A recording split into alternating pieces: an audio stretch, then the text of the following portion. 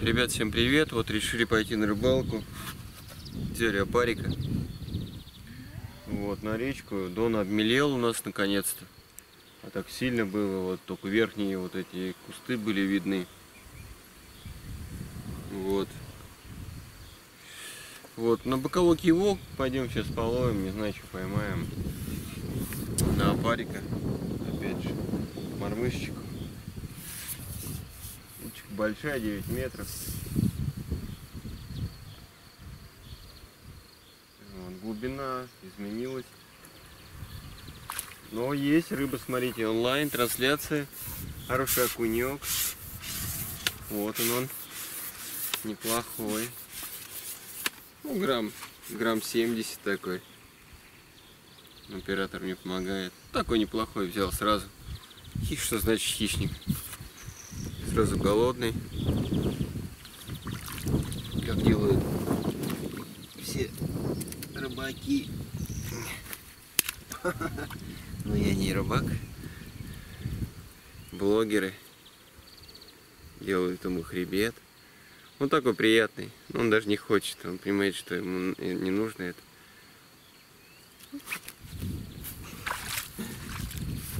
Такая мелкая рыбка. Ну, все равно приятно. Клюнул онлайн-трансляцию. Говорят, это очень, очень интересно. Не знаю, обычно. Что-то клюет какая-то мелочевка. Латвичка, наверное.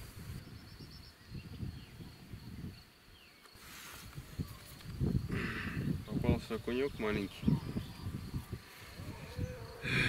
Конечно, не хотелось его брать, но я возьму кошки. Моя кошка растит мамбутку.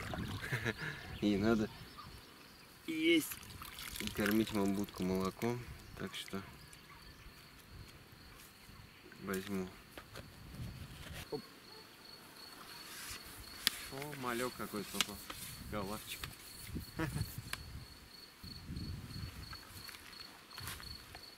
Маленький совсем.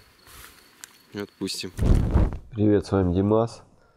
Оператор там Антон где-то спрятался. Сегодня у нас небольшой эксперимент очередной. Решили тоже заморочиться и сделать видео такое.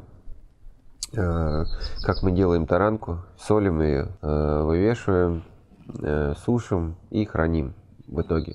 Вот. И как бы у нас была полноводная река, короче, обловились рыбы, рыбы много, плотва в основном была. Вот, но видео уже как бы решили снять попозже, когда вся вода спала. Ну, рыба клюет, но не так активно. Вот, но немножко половили. Сегодня нас, как в очередной раз, нас с рыбалки угнал и с любого видео дождик. Так что немножко поймали. Чуть-чуть наловили. Как бы для засолки хватит. И пожарить дальше хватит. Несколько подлечиков поймали. Плотвички. Ну, так, щучка, естественно, попалась. Неожиданно мормышку. Как бы, ну, такие вот щучки, они клюют иногда. Попадаются на мормышку. Вот.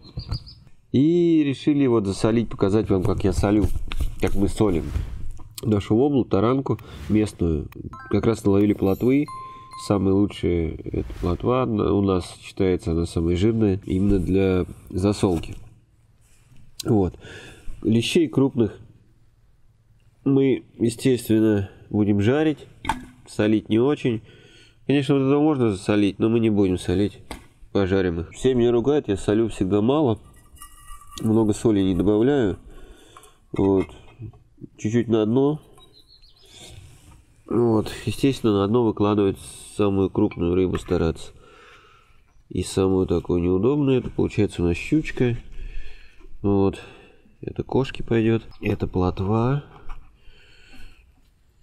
Хорошие плотвички такие. Для засолки самые вообще ништяк.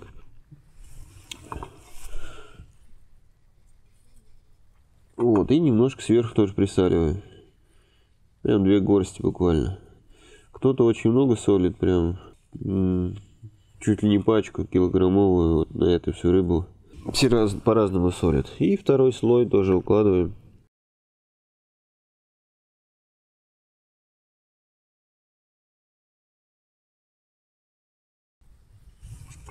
Небольшой слой и еще присаливаю. Я вот, видите, солю немного. Рыба возьмет сколько ей надо, конечно, она будет, если будет стоять неделю, она будет вся просолиться. У нас стоит два дня, двое суток. Сверху немножко посолили. Сильно не засыпайте. И опять выкладываем. Подус попался, жерешок маленький. Ну, жерех много, так что мы не особо отпускаем их. На воблу вообще отлично. Вот, это кошки пойдет у нас. Три штучки. Вот. И тоже сверху присыпаем. Все, рыба у нас как бы засоли, э, поставили на засолку. Накроем сверху крышкой. Любой самый ненужный. И сверху поставим э, какой-нибудь груз. Ну, обычно это все в подвале стоит. Там много банок разных трехлитровых. Любых там с, любым наполнителем, огурцы, помидоры, томаты. Вот, и стоит так все это двое суток в подвале. Там температура у нас где-то плюс там 5-6 максимум. Вот. Двое суток, можно больше, но чуть-чуть ее промыть надо будет. И так я ее потом промываю все равно три раза в воде.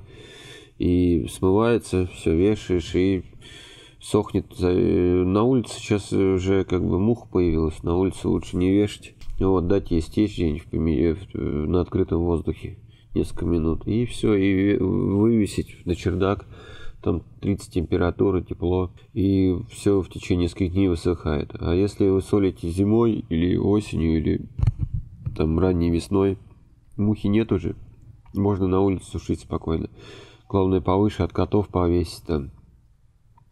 И чтобы следить, чтобы осы не съели. Осы любят тоже рыбу, они съедают ее просто буквально на глазах, выгрызают. Способ показали, лещей пойдем жарить. Вот, и сейчас поднимаемся на чердак, покажу вам наш, нашу сушку. Решили покормить кота, кошку нашу, она там спряталась с котятами. Киса, иди. Киса, киса. Киса, киса. Наверное, кормит своих котят там. Иди сюда, бери, киса. Вот, она вышла. Оп. Полудикие кошки. И они тут как бы ничьи. Тут их все подкармливают. И все потом радуются, у кого они котят оставляют. Не знают, что с ними делать. Вот, ребята, короче, зашли на чердак. Вот, и решили показать, как сохнет наш таранка будущее. Сейчас мы солили, а это вот это уже вот несколько дней назад мы ловили и сушили. Вот, было реально много плотвы, это все поймали на боковой кивок, на мормышку. Вот. И как бы хорошо клевал, и сейчас вода спала, и как бы так клев такой у рыбы прекратился. И вот она уже такая, она реально вот э, почти готовая. Помельче, которые уже они просохли, они жирненькие, такие хорошие получаются. Так что вот это буквально за там, меньше недели получилось поймать. И наловили отличную заготовку сделали на будущий какой-то вот период времени с пивком. Отлично можно будет попить потом, посидеть в бане с друзьями. Это лучше всего. Донская рыба очень вкусная. Это вот где-то сохло дня 4, наверное. Сейчас погода не очень такая теплая, но уже вот она такая почти готовая. Ну, где-то дня 4 сохнет, это вот 5 максимум вся рыба. Если экземпляры побольше, они еще не, высох, не высохли, это еще там ловили э, в конце мая где-то большие головли. Вот.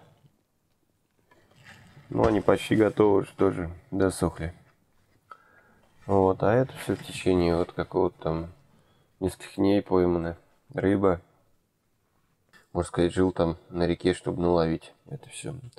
Вот, так что вот, э, так она сушится.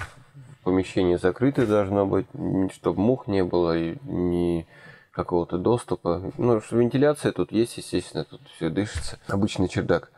И так что переходим, будем вам показывать э, способ нашего хранения, нашей таранки воблы и будем пробовать на вкус, что у нас получилось. Вот, короче, одного мы еще зажарили, уже решили вам показать, э, именно как жарили ну, не засняли, отвлеклись. А именно вот уже есть готовый пожаренный лещ. Вот. Так что в следующий раз вам обязательно покажем способ жарки. Ну, обычный способ. Мы вот добрались до нашего места. Будем делать сейчас это а, вакуумную нашу упаковку. Закры закрывать банку под вакуум. Вот, банку приготовили. Мы не стали брать закручивающую, мы просто винтовую взяли. Ну вот, так что сейчас будем наполнять нашу э, банку рыбы. Вот, крупных брать не будем, они там не влезут сюда, естественно. Возьмем помельче, чтобы показать все для вашего удобства было. Вот, набиваем. Можно плотней, можно там еще как-то. Можно так на, на день рождения такую баночку подарить. Ну, мы плотно не будем ее набивать, чтобы показать вам весь процесс. Вот. Мы взяли шпон обычный деревянный шпон. Красное дерево, тут еще бук, не знаю. Вот, все, многие делают с этого, со свечкой, но мы не делаем со свечкой, ну, как бы, геморрой, мне кажется. Все делаем с, нормально, с, с деревяшкой. Вот, просто поджигаем. Кидаем туда наш шпон, он горит. и закрываем.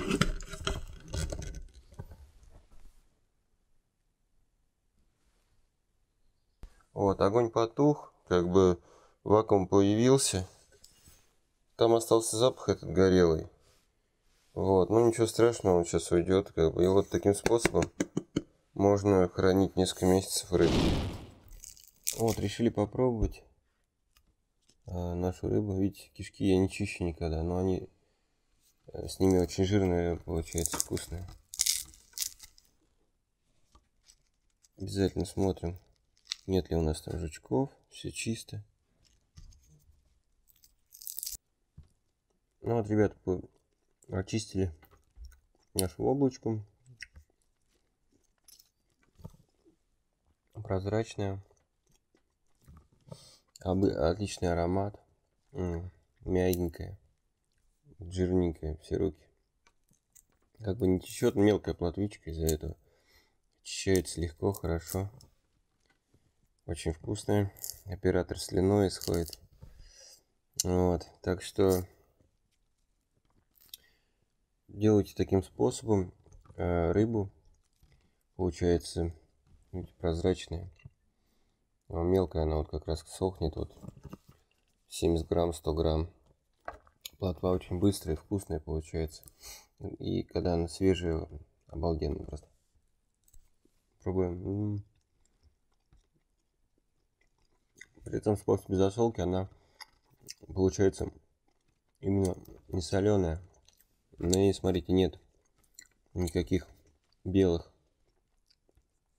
белых следов соли. Она вот как просто рыба. И нету никакого. А когда много соли, она сверху выступает и все. Здесь же она прозрачная. Очень вкусная.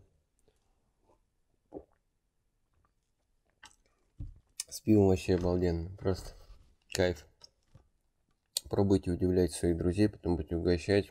Это можно подарить. Сколько раз видел, когда люди дарили баночки или там букеты из воблы или старанки. Люди заморачиваются. Это очень удивляет, кто любит, тем более, такие вещи. Вот. Так что, всем приятного аппетита, пробуйте, готовьте. С вами был Димас, оператор Антон. С вас лайк. Пока-пока.